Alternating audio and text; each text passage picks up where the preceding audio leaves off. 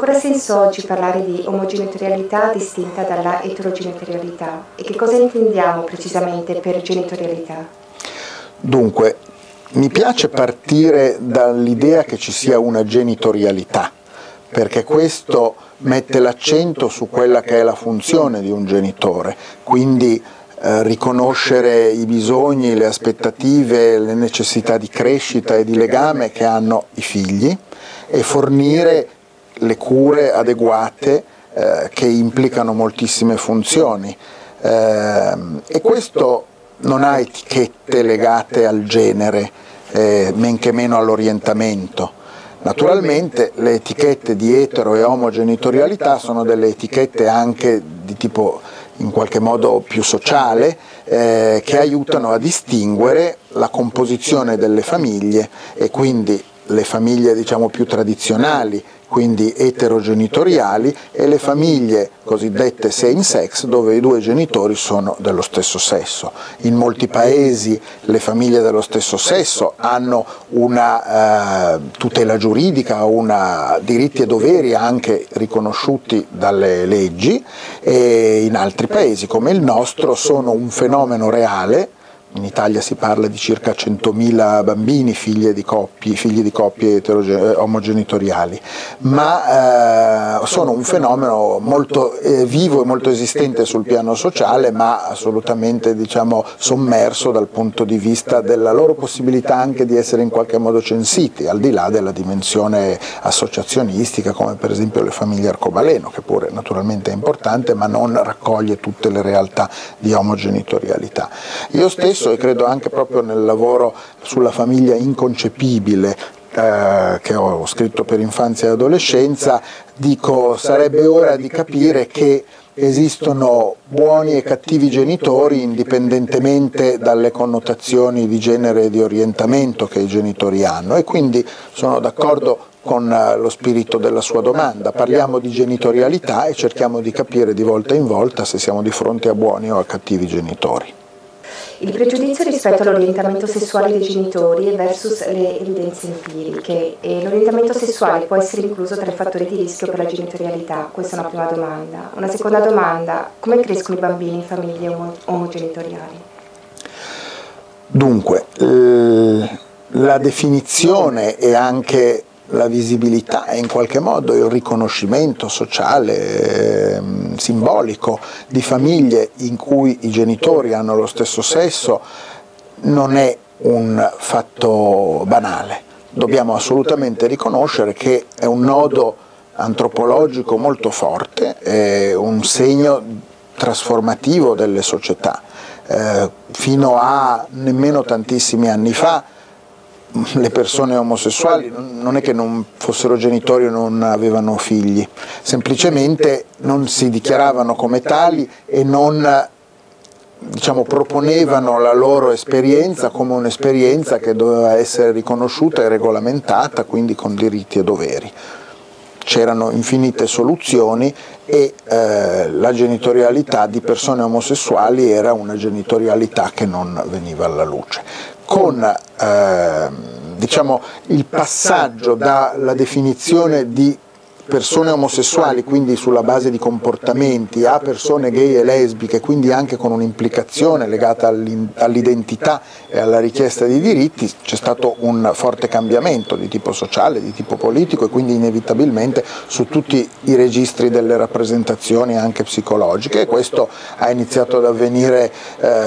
con gli anni 60 del secolo scorso e man mano ha acquisito fisionomia, il, diciamo c'è stato un passaggio che potremmo definire definire così, prima il riconoscimento di identità personali, poi il riconoscimento di identità di coppia, di relazione e poi il riconoscimento di identità che implicano la costruzione di sistemi come quello familiare, quindi dall'individuo alla coppia alla famiglia. E oggi siamo in questa fase. Eh, questo giustamente può preoccupare, stupire, spaventare, come tutte le cose eh, che, non son, che non hanno una tradizione in qualche modo riconosciuta, codificata e sancita. Io sono sicuro che anche le accelerazioni della storia porteranno a a integrare nel, tra le proprie rappresentazioni anche questa nel giro di, di, di pochi anni. Eh, al momento capisco che molte persone possano rimanere colpite da questa realtà. Il grande passaggio è quello di, di, passare dallo stupore alla curiosità e al tentativo diciamo così, di riconoscimento anche empatico di una realtà che magari qualcuno sente come diversa e, inconcepibile dal punto di vista psicologico, mentre più pericoloso è il passaggio dallo stupore all'avversione, alla contrarietà, all'ostilità. Questo è un modo anche di danneggiare non solo i genitori dello stesso sesso ma anche i bambini, perché naturalmente si crea attorno a queste realtà uno stigma che va sotto il nome di minority stress per dare un nome tecnico, quindi sostanzialmente tutte quelle condizioni di crescita, sviluppo e benessere psicologico e sociale eh, danneggiate dall'esistenza di uno stigma che di solito è connesso a un pregiudizio, perché come ricordava lei nella sua domanda, una tradizione ormai più che trentennale di ricerche le prime più rudimentali, le ultime molto sofisticate, dimostrano come, così insomma, potremmo leggere anche da tutti i vari statement dell'American Psychiatric Association, dell'American Psychological Association, dell'American Academy of Pediatrics, cito molto gli americani perché la letteratura di base su queste tematiche è una letteratura nordamericana, ma negli ultimi anni ehm, la Francia, la Gran Bretagna, la Germania, moltissimi paesi hanno sviluppato appunto anche dal punto punto di vista delle associazioni scientifiche e professionali un, diciamo così, una sorta di atteggiamento abbastanza trasversale, poi con ovviamente insomma, difficol- differenze geograficamente distinguibili. Ecco, eh, la cosa importante è che tutti questi statement e tutti i risultati di queste ricerche dicono che i bambini che crescono in contesti di famiglie con genitori dello stesso sesso non presentano ehm, indicatori di eh, difficoltà nella crescita, malessere dal punto di vista psicologico, limitazione nelle loro funzioni, sono come i bambini che crescono nelle famiglie eterogenitoriali e quindi possono crescere bene o possono crescere male. Torniamo al discorso che facevamo prima su genitorialità, una buona o una cattiva genitorialità. È vero, sarebbe sciocco non riconoscerlo, che poi le famiglie con genitori dello stesso sesso incontrano il problema appunto di cui parlavamo della stigmatizzazione sociale, quindi c'è un problema che dall'esterno può colpire diciamo, la, la, la crescita e le caratteristiche della crescita e questo naturalmente invita a delle politiche, a delle, a delle eh, attività di educazione alle diversità, alle differenze. E poi ci sono invece delle caratteristiche specifiche delle famiglie eh, con genitori dello stesso sesso che a volte sono sovrapponibili a quelle di altri tipi di famiglie, per esempio con genitori adottivi oppure famiglie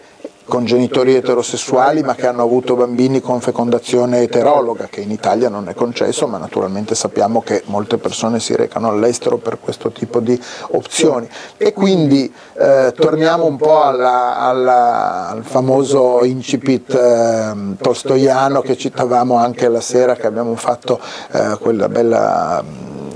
tavola rotonda all'ordine degli psicologi del Lazio in cui si dice che tutte le famiglie eh, felici sono uguali e poi tutte le famiglie infelici sono infelici ciascuna a modo suo intendendo dire che quando ci sono delle difficoltà poi ogni famiglia ha le sue specificità. Forse bisogna anche riconoscere che l'idea di una famiglia eh, modello eh, è un'idea, è un po' un ideale, sappiamo benissimo chi si occupa di, di psicologia evolutiva, chi si occupa di, di, sistemi familiari sa che esistono infiniti tipi di famiglie, con un genitore solo, con due genitori, ricomposte, ricombinate, allargate, adottive, eterogenitoriali, omogenitoriali e di volta in volta emergono delle tematiche che lo psicologo deve individuare e sviluppare nel, nel, nel, nel dialogo, nell'intervento clinico eh, per facilitare appunto, e non per complicare il compito del genitore.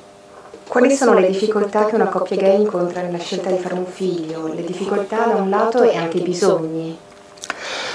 Dunque, io penso che ogni coppia abbia le sue difficoltà, le sue gioie, le sue speranze, i suoi progetti, se vogliamo giustamente cercare anche di fare delle sintesi, io penso che un primo dato importante da dire e questo implica anche una riflessione poi sulle preoccupazioni che alcuni possono avere nei confronti di queste famiglie, si tratta sempre di eh, genitorialità a lungo cercate e desiderate e che nascono anche da un profondo scambio eh, di, di, di, progetto, di, di relazione, di, scambio tra i due genitori. Diciamo, non sono delle genitorialità casuali, Detto questo, molte genitorialità casuali sono magnificamente autentiche, altre invece si affrontano la genitorialità come un imprevisto, una cosa non cercata, quindi anche quelle sono tematiche che vanno di volta in volta considerate. Quindi nel caso delle famiglie omogenitoriali il fatto di base è che è una genitorialità scelta e cercata e a lungo desiderata. Le difficoltà si, a questo punto si distinguono anche in base alla composizione di genere delle coppie due donne avranno difficoltà di percorso di un certo tipo, due uomini difficoltà di percorso di un altro tipo, proprio diciamo, dal punto di vista del, dei modi scelti per diventare genitori. E quindi questo peraltro implica tematiche anche di tipo